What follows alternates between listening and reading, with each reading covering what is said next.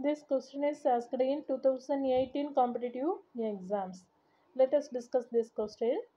The advantage of double cage induction motor over single cage rotor is the answer is to improve starting torque.